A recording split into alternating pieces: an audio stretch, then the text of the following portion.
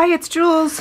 I'm going to be doing a spread in my Arteza watercolor glue book. I've started adding some fabric tabs for some texture. I like that. And so let's find a page. It's almost done. I think I have four, five, six spreads left to do.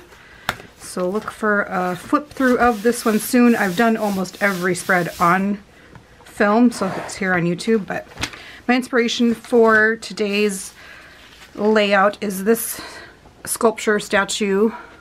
I think this was from the Charleston magazine that I really like. Doesn't say anywhere.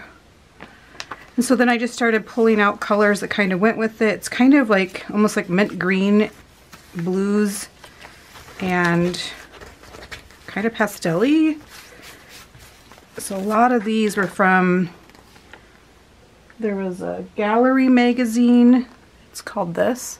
And then also a bunch from, I think all these are from Fine Art Connoisseur. So I've been trying to, magazines like this where there's so much in them, I'm just leaving the images in there until I'm looking for something, then I'll pull it out. It's just a good way to keep them intact in a good storage method. So I will speed this up and thanks for watching.